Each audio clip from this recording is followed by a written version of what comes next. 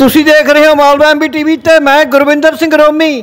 ਤਸਵੀਰਾਂ ਤੁਹਾਨੂੰ ਦਿਖਾ ਰਿਹਾ, ਇਹ ਤਸਵੀਰਾਂ ਨੇ ਲਹਿਰਾ ਗਾਗਾ ਤੋਂ, ਜ਼ਿਲ੍ਹਾ ਸੰਗਰੂਰ ਦੇ ਲਹਿਰਾ ਗਾਗਾ ਤੋਂ ਜਾਣਕਾਰੀ ਮਿਲੀ ਹੈ ਕਿ ਕਈ ਸਾਲ ਪਹਿਲਾਂ ਇੱਕ ਮਾਈ ਨੇ ਦੋ ਐਫਡੀਆਂ ਕਰਵਾਈਆਂ ਸੀ 2-2 ਲੱਖ ਰੁਪਏ ਦੀਆਂ, ਜੋ ਕਿ ਹੁਣ ਸਮਾਂ ਪੂਰਾ ਹੋਣ ਤੋਂ ਬਾਅਦ ਜਦੋਂ ਉਹ ਐਫਡੀਆਂ ਦੇ ਪੇਮੈਂਟ ਲੈਣ ਜਾਂਦੇ ਨੇ, ਤਾਂ ਆਖਿਆ ਜਾਂਦਾ ਕਿ ਟੀਡੀਐਸ ਲੱਗ ਗਿਆ ਤੁਹਾਨੂੰ ਇਹਦੇ ਚੋਂ ਪੈਸੇ ਕੱਟਾਂਗੇ।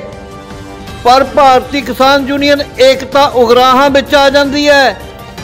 ਇਸ ਤੋਂ ਪਹਿਲਾਂ ਵੀ 27 ਤਰੀਕ ਨੂੰ ਵੀ ਧਰਨਾ ਹੁੰਦਾ ਹੈ।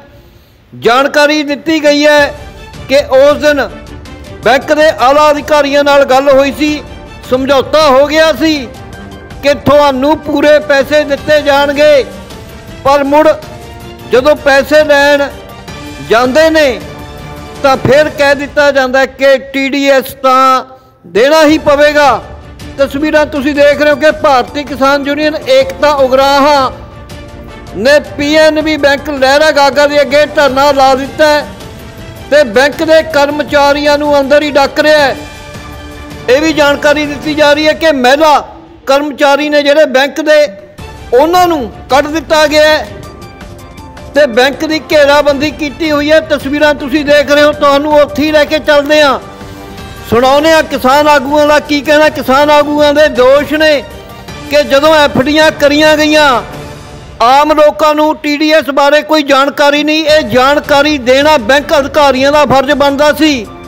ਬੈਂਕ ਅਧਿਕਾਰੀਆਂ ਨੇ ਦੱਸਣਾ ਸੀ ਕਿ ਕਿੰਨੇ ਪੈਸੇ ਦੇ ਕਿੰਨੇ ਜੋ ਜੋ ਟੀਡੀਐਸ ਲੱਗਦਾ ਜਾਂ ਨਹੀਂ ਲੱਗਦਾ, ਹਰ ਇੱਕ ਇਨਸਾਨ ਹੈ, ਕਹਿੰਦੇ ਨਾਰਮਲ ਇਨਸਾਨ ਨੂੰ ਇਹੀ ਹੁੰਦਾ ਕਿ ਐਫਡੀ ਕਰਾਓ ਜਿੰਨੇ ਪੈਸਿਆਂ ਦੀ ਐਫਡੀ ਹੈ ਪੂਰਾ ਹੋਣ ਤੇ ਉਹਨੇ ਪੈਸੇ ਮਿਲ ਜਾਂਦੇ ਨੇ। ਗੱਲਬਾਤ ਕਰਨੀ ਚਾਹੀਏ ਬੈਂਕ ਅਧਿਕਾਰੀਆਂ ਨਾਲ ਪਰ ਉਹਨਾਂ ਨਾਲ ਗੱਲਬਾਤ ਹੋ ਨਹੀਂ ਸਕੀ। ਆਓ ਸੁਣਦੇ ਆ ਕਿਸਾਨ ਆਗੂਆਂ ਦਾ ਕੀ ਕਹਿਣਾ ਹੈ? ਆਜੋ ਇਹ ਅੱਜ ਅਸੀਂ ਬੈਂਕ ਮੈਨੇਜਰ ਦਾ ਘਿਰਾਓ ਕੀਤਾ ਹੋਇਆ ਹੈਗਾ। ਇਹ ਮਤਲਬ ਸਾਡੀ ਮਾਤਾ ਸਰਜੀਤ ਕੌਰ ਨੇ ਦੋ ਐਫਡੀਆਂ ਕਰਾਈਆਂ ਸੀ 2-2 ਲੱਖ ਦੀਆਂ। ਜਿਹੜੀ ਇੱਕ ਐਫਡੀ ਦਾ 4 ਲੱਖ 65000 ਰੁਪਇਆ ਮਿਲਣਾ ਸੀ, ਦੋਵਾਂ ਦਾ ਜਾਨੀ 8 ਲੱਖ 40000 ਰੁਪਇਆ ਮਿਲਣਾ ਸੀ। ਉਹਦੇ ਇਹ ਦੋਨਾਂ ਐਫਡੀਆਂ ਦੇ ਵਿੱਚੋਂ 27 ਤਰੀਕ ਨੂੰ ਜਾਨੀ 92000 ਰੁਪਇਆ ਕੱਟ ਰਹੇ ਸੀਗੇ। ਪਰ ਜਦੋਂ ਅਸੀਂ ਇਸ ਬੈਂਕ ਦਾ ਘਿਰਾਓ ਕਰ ਲਿਆ, ਉਦੋਂ ਇਹ ਸਾਨੂੰ ਪੂਰੇ ਪੈਸੇ ਦੇਣੇ ਮੰਨ ਗਏ। ਪਰ ਉਹ ਲਾਰੇ ਲੱਪੇ ਲਾਈ ਗਏ ਜਾਨੀ ਜਦੋਂ ਅੱਜ ਅਸੀਂ ਪੈਸੇ ਲੈਣ ਆਏ, ਅੱਜ ਦੀ ਤਰੀਕ ਸੀ, ਪਹਿਲਾਂ 27 ਤਰੀਕ ਨੂੰ ਪੂਰਾ ਸਾਡੇ ਨਾਲ ਵਾਅਦਾ ਕੀਤਾ ਸੀ ਇਹਨਾਂ ਨੇ ਵੀ ਠੀਕ ਹੈ ਜੀ, ਤੁਸੀਂ ਆਪਦੇ ਪੂਰੇ ਪੈਸੇ ਲੈ ਜਿਓ। ਅੱਜ ਜਦੋਂ ਪੈਸੇ ਲੈਣ ਆਏ ਤਾਂ ਇਹ ਦੋਨਾਂ ਦੇ ਐਫੜੀਆਂ ਦੇ ਵਿੱਚ 160000 ਰੁਪਏ ਦਾ ਕੱਟ ਲਾਉਣ ਲੱਗ ਗਏ। ਜਦ ਕਿ ਉਹਦੇ 92000 ਦਾ ਸੀ।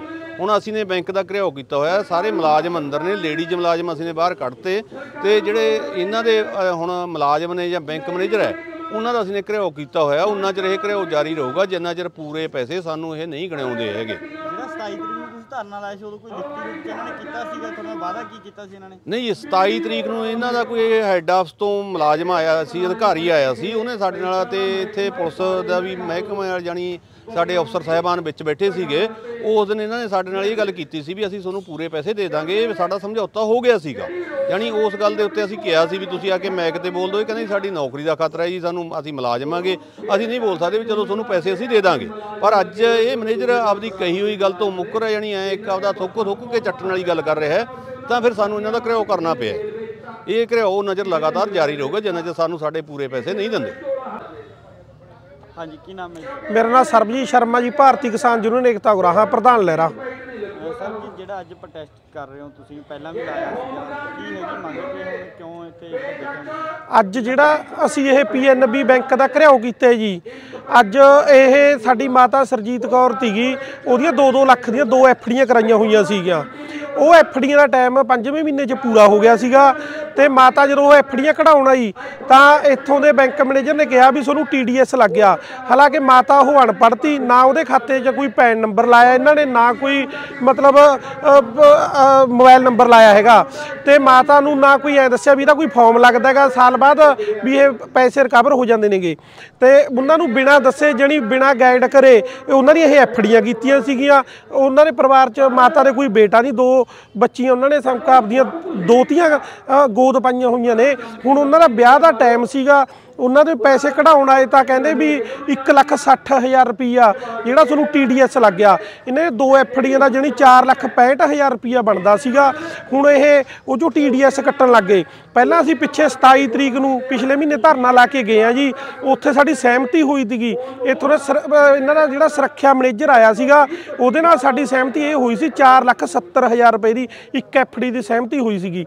ਪਰ ਜਦੋਂ ਅਸੀਂ ਦੁਬਾਰਾ ਐਫਡੀਆਂ ਲੈ ਕੇ ਇਸ ਬੈਂਕ 'ਚ ਆਏ, ਤਾਂ ਮਤਲਬ ਇਹ ਬੈਂਕ ਸਾਫ਼ ਮੁੱਕ ਰਿਹਾ ਹੈਗਾ ਪੈਸੇ ਦੇਣ ਤੋਂ। ਜਣੀ ਜੇ ਆਪਾਂ ਪੰਜਾਬੀ 'ਚ ਕਹਿ ਦਈਏ ਵੀ ਥੁੱਕ ਕੇ ਚੱਟਿਆ ਇਹਨਾਂ ਨੇ, ਤੇ ਉਹ ਗੱਲ ਤੇ ਇਹ ਉਤਰੇ ਨੇਗੇ, ਤੇ ਅੱਜ ਜਦੋਂ ਅਸੀਂ ਗੱਲਬਾਤ ਕਰੀ ਤਾਂ ਫੇਰ ਇਹ ਉਸੇ TDS ਦੇ ਖੜੇ ਨੇਗੇ।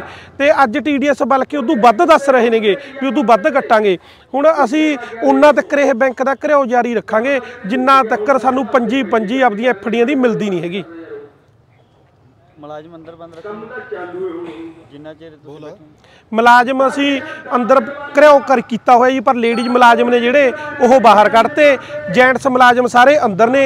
ਇਹਨਾਂ ਨੂੰ ਉਦੋਂ ਤੱਕ ਅੰਦਰ ਰੱਖਾਂਗੇ ਜਿੰਨਾ ਤੱਕ ਸਾਨੂੰ ਪੈਸੇ ਨਹੀਂ ਮਿਲਦੇ। ਇਹਨਾਂ ਦਾ ਮੁਕੰਮਲ ਘਰਿਓ ਜਾਰੀ ਹੈ।